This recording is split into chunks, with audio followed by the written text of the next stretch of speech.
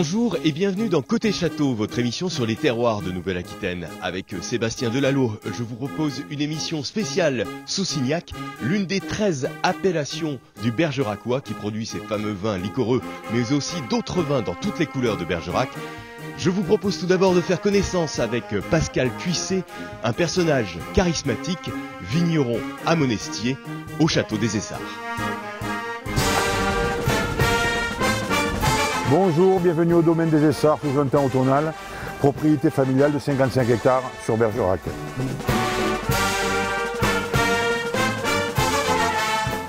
Joli temps. Euh, Pas pour les raisins. Maintenant, les merlots qui sont encore dehors, ils n'auront pas de poussière, ça c'est sûr. On aurait pu choisir notre jour.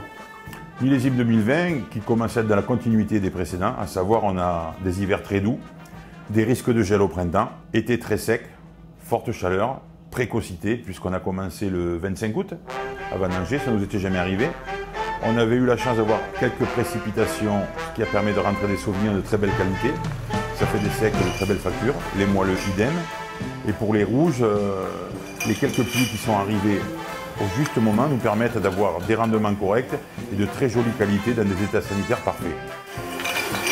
On devrait y arriver à deux. Stéphane, premier trombone de la banda. euh. Non mais ici, ils ont tous travaillé dans la banda. Alors on se voit la semaine plus le week-end. Cette année, ils sont un peu dantesques parce que on a un bâtiment de 500 mètres carrés qui devait être fait depuis le mois de juin.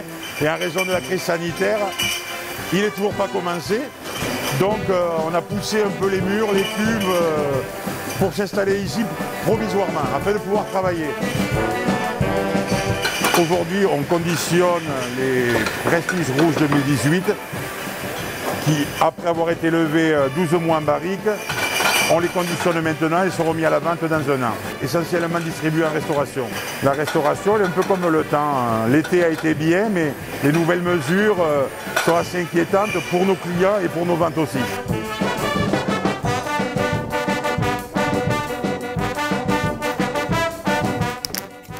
Capsule à vis, depuis 15 ans. Bergerac Sec 2019, assemblage essentiellement Sauvignon blanc. Nous, on pense que le goût international du sec est à peu près similaire sur, sur toute la planète. Donc, on cherche du fruit, un équilibre acidité. On s'éclate, nous, sur le marché japonais. C'est parce que c'est un marché où on vient juger les, les vins sur leur rapport qualité-prix, pas sur leur origine. C'est le seul pays où j'ai ma tête en 4 par 3 dans une cave. Les francs. Monocépage, 100% Cabernet Franc, vendange très très tardive, puisque ça, ça a été ramassé 2 et 3 novembre 2018. Aujourd'hui, nous, avec 55 hectares, on est obligé de multiplier les offres.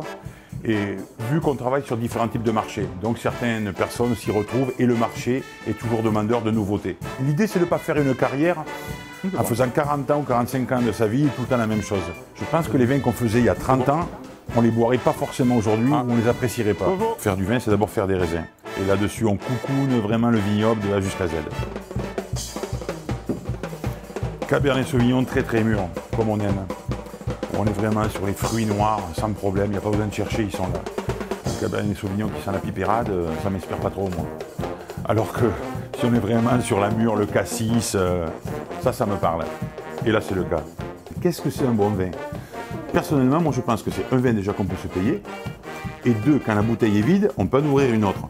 Parce que si la notion de prix vient nous empêcher d'ouvrir la seconde, je trouve que ça devient castrateur de plaisir.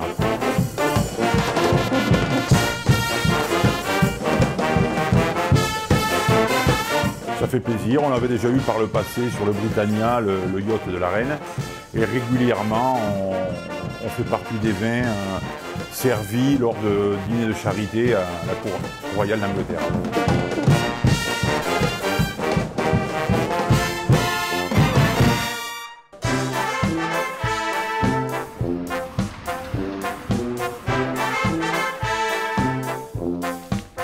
On va voir euh, Thierry Doliac qui est euh, vigneron ici à Razac de Saucignac. On va voir s'il est là.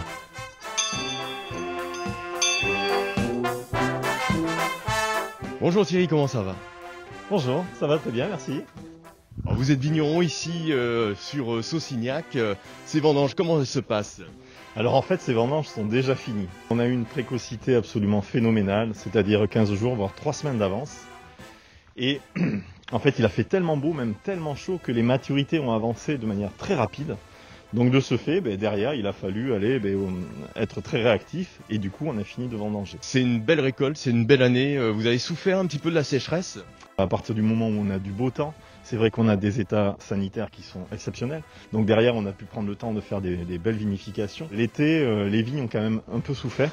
Même voir euh, des petits plantiers, par exemple, ont forcément souffert de cette euh, situation. Donc en plein après-midi où ils pouvaient monter à 35 à 38 degrés, c'est vrai qu'il y a forcément des effets de grille. Ça, on peut pas s'en cacher. Ensuite, euh, ce que je vous disais, si, c'est un très très beau millésime. Ça, c'est vrai que par contre, à côté de ça, je veux dire, il y avait absolument pas de champignons, pas de moisis ou autre chose au, niveau des, des, pots. Donc là-dessus, on a pu être sûr d'avoir une très très belle qualité et bien travailler ça. Forcément, ça a eu un effet sur la quantité. Est-ce que c'est facile d'exister Saucignac face aux géants Sauternes et puis à Montbazillac. Il faut quand même savoir que Saucignac, c'est une appellation historique aussi de l'icoreux. C'est vrai que Bergerac, déjà, dans son ensemble, c'est une appellation qui à l'origine produisait quasiment que des moelleux. Et c'est vrai que si on regarde sur le plan mondial, des vraies appellations de l'icoreux, il n'y en a quand même pas tant que ça. Donc Saucignac fait partie intégrante de ces grands noms, qui ont les cépages, qui ont les terroirs et qui ont le, savoir-faire pour faire des liquoreux. Et cette chimie qui fait que le botrytis arrive en temps voulu et permet de cette concentration. Donc c'est vrai que Saucignac, c'est le, hum, petit frère, on pourrait dire, de Montbazillac. Et on a des sols un petit peu différents, on a des calcaires, un brin différent. Donc la spécificité vraiment à Saucignac, c'est que là-dessus, on a toujours des, toujours des très très belles acidités, des belles fraîcheurs qui fait que nos vins tiennent très très très très bien dans le temps. Alors la question euh, vache, si je puis dire, est-ce qu'on boit aujourd'hui autant de liquoreux qu'on ne pouvait en boire dans le temps? Il est vrai qu'il y a une évolution. Si on regarde le consommateur, la demande du consommateur, on veut toujours du light. Le consommateur ne veut plus en fait ces produits, mais de manière générale, dans l'alimentation avec trop de sucre. Et à la propriété, par exemple, je suis revenu à des concentrations moindres. Et du coup, des vins, là où avant je faisais des élevages longs pour faire des vins de garde, et ce qui, se prouve tous les jours parce que je vois encore des vieux millésimes, là aujourd'hui, c'est vrai qu'on va revenir sur des choses beaucoup plus légères, beaucoup plus fines, beaucoup plus acidulées beaucoup plus de fraîcheur et à boire beaucoup plus rapidement pour profiter de ce fruit frais. Saucignac, donc c'est une appellation qui s'est lancée, alors vous-même un, des pionniers, dans le bio. Mm. Expliquez-nous un petit peu ce, parcours. Quand j'ai repris derrière papa, on était en ce qu'on appelait en conventionnel. Ensuite j'ai intégré la lutte raisonnée. Ça a l'air de rien, mais pendant les années 90, j'ai cru que tout se faisait dans mon chai. Et qu'en fait j'allais m'éclater parce que tout était dans la vinification. Et c'est vrai que je me suis aperçu à ce stade-là petit à petit qu'à un moment donné, ben, si je voulais aller plus loin, c'était vraiment redécouvrir en fait nos sols, redécouvrir nos terroirs. Maintenant sortent en fait tous les jours sortent des, éléments où on apprend que des gens se sont fait en fait ont été empoisonnés. Il y a, de plus en plus de problèmes de cancer. Enfin des choses où on se dit ben oui on a bouffé aussi des produits qui sont pas bons pour notre santé. Et puis je suis allé voir des copains qui eux étaient en biodynamie et je voyais leurs vignes qui avaient une beauté supplémentaire des miennes. Elles étaient éclatantes et c'était belle. Je dis mais pétard c'est quoi la différence entre toi et moi? Il me dit, ben, c'est la biodynamie. Et en fait, la base de la base, quand on est paysan, c'est la vitalité de son sol. Et la biodynamie, le premier élément, c'est d'abord le sol, la fertilité de son sol. Et parmi la jeune génération de vignerons qui font euh, du bio et de la biodynamie, je vous propose de rencontrer euh, Samuel Cuissé, vigneron à Saucignac. Je m'appelle euh, Samuel Cuissé, je suis viticulteur à Saucignac. Nous avons 35 hectares de vignes, 8 hectares de pruniers, que l'on cultive en bio depuis 2003 euh, et en biodynamie depuis 2012.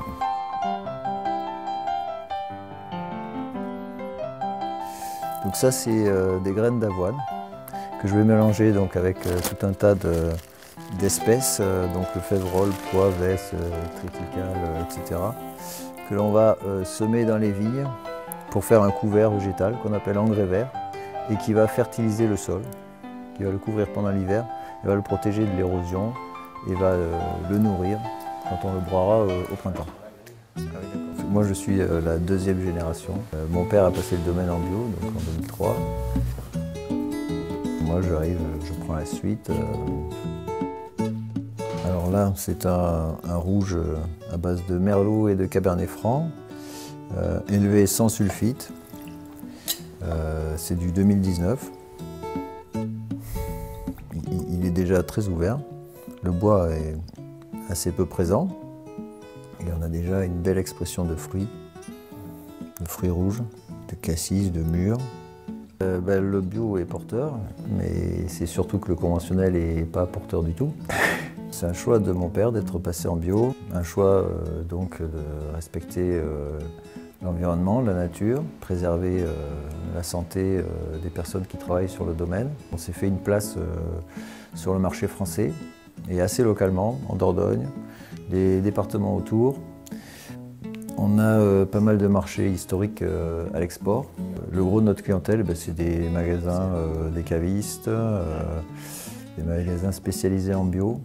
Moi, j'hérite quand même d'un passé qui, me porte véritablement. Donc, euh, c'est pas excessivement difficile, mais c'est quand même assez euh, stressant euh, parce qu'on peut perdre un marché sur, sur des erreurs. Moi, l'avenir, je le vois en travaillant les vins toujours du mieux qu'on peut pour faire de la qualité.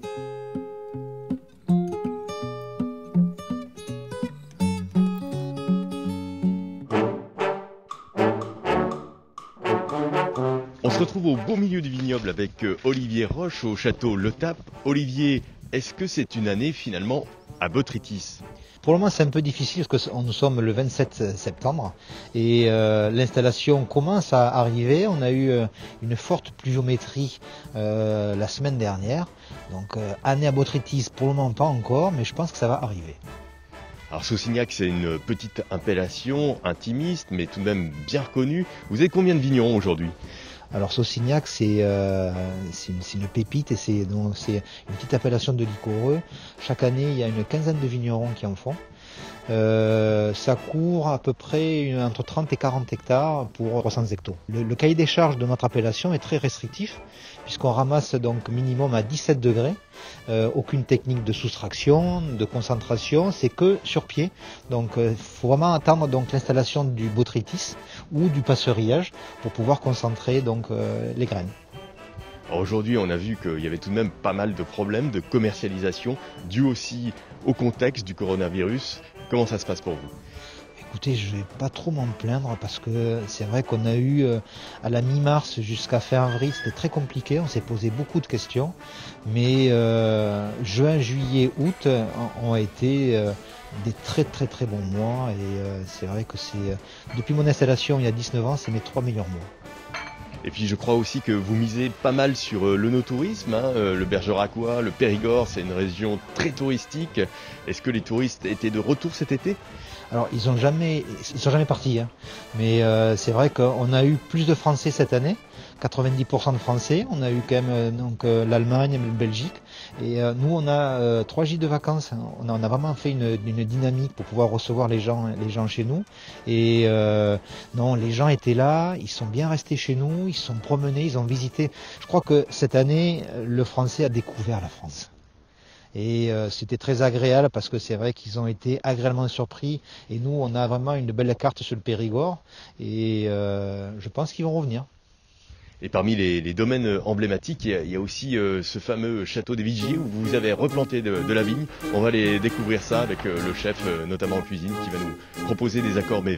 Très bien, avec grand plaisir. On se retrouve au château des Vigiers avec Didier Casaguena, le grand chef des fresques étoilées Michelin, qui va nous préparer un mets dont il a le secret pour associer avec euh, le vin de Saucignac du Château Le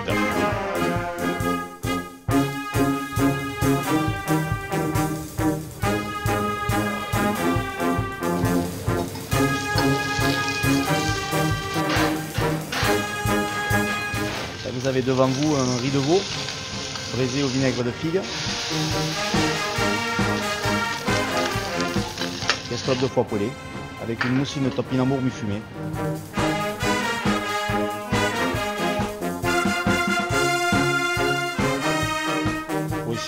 D'amener un petit peu d'acidité euh, au, vin de Saucignac, un petit peu de gras. Et puis on est sur des produits de saison. Et le côté fumé, je pense, se comporte très bien avec le, vin de Saucignac, avec le vin de des riz de veau avec du liquoreux, c'est quelque chose qu'on ne connaît pas parce que les liquoreux, on les, on les met souvent sur du, sur du foie gras ou en entrée ou sur le dessert, tandis que là, riz de veau, foie gras, plus donc euh, tout ce qu'il a proposé, je trouve que nos vins, il y a une belle fraîcheur, une belle acidité avec le petit côté sucré, donc ça relève bien.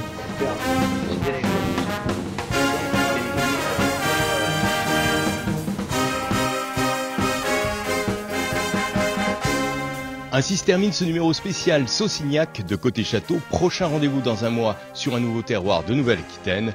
Carpe diem